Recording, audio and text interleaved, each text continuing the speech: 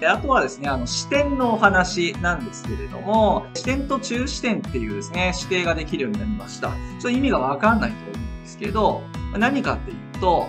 どこからどっち向きを見てますっていうので視点を切り替えれるんですよ。これ今までなかったんですよね。どういうものか、もう実際にやってお見せする方が早いと思います、やってみます。従来だとトレンドポイントの視点の移動っていうのは、マウスのこのホイールでコロコロ寄ったりとか、引いたり、あとは右クリックをしながらぐるっと回すっていう、こういう動きをしてたと思うんですね。なんですけれども、この表示のタブの視点の変更っていうところ、ここですね。視点と中視点っていうボタンができました。これすごくいいです。どういうことかというと、ここに立ってこっち向いた時みたいな。こんな感じで視点を変えれるんですよ。例えば、そうですね。じゃあこの下のところに立って上の方を見上げた時みたいな。こういう見え方。ちょっと視野角が広すぎますかね。こんな感じですかね。上に立って下を見た時みたいな。こんな感じのことっていうのができるようになってます。で、もちろんあの視線を水平にするっていう風なこともできますので、道路上でこう見えてますよ、みたいな。こう見えてますよ、みたいなことができますので、あの視点の移動が非常に楽になります。で、どこからどう見えるっていうのがですね、もうピンポイントに見えます。で、これ一つ覚えておくといいのが、トレンドポイントって、あの、右クリックで、ドラッグでえ回せると思うけど、この時にキーボードのコントロールキーを押しながら右クリックで回してあげると、自分の位置が変わらないんですよ。なので、ここに立った状態でこんな風に周りを見回すような動きの視点操作なんかもできます。もちろんこの視点ツールっていうのを使えば、ここでもできるんですよね。ボタンを押すのめんどくさいなっていう場合は、コントロールを押しながら右クリックのドラッグでやっていただければいいかなと思います。そして、この視点と中視点で視点を変えたときには、そのまま視点の登録っていうのができるようになってますので、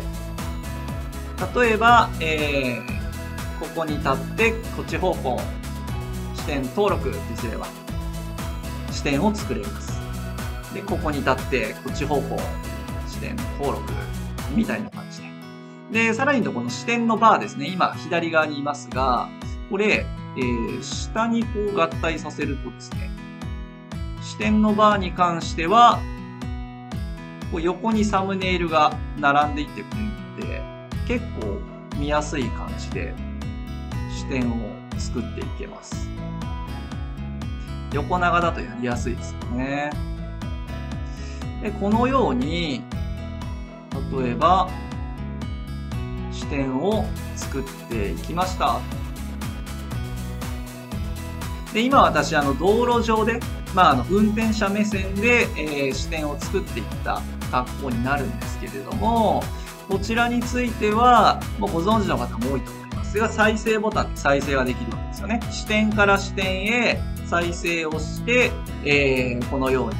視点の間をこうずっと動いていってくれるっていう機能がトレンドポイントには備わってます。で、この時に新しい機能で追加されたのが、これなんですよね。今ちょうどやってたんですけど、あの、視点と視点の間を動くスピードっていうのを指定できるようになりました。今時速30キロで動いた場合っていう感じで。なので一定のスピードで動いていったと思うんですよ。でも今までは、ここ、間の時間の設定しかなかったんですよね。で、3秒ってなってて、視点と視点の間の距離が遠かったらば、そこを3秒かけていくので、スピードは速かった。要は視点と視点の距離がまちまちだと早く動いたり遅く動いたりみたいな感じの変な動き方を今まではしてたんですけど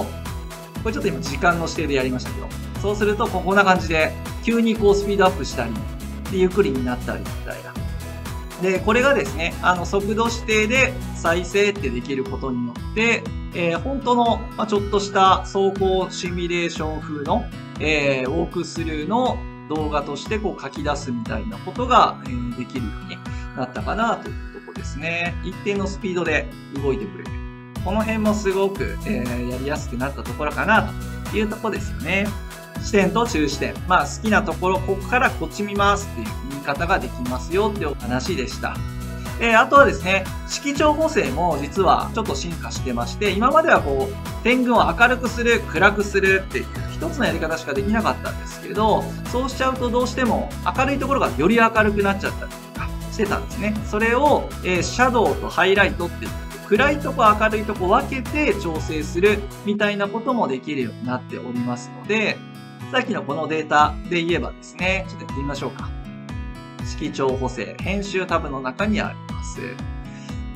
で、この下のところですね、全体とシャドウとハイライトって3項目あります。全体でちょっとやってみますね。全体を明るくってすると、全部がこう明るくなって、もともと明るかったこの辺の色がさらにこう明るくなっちゃうんですよね。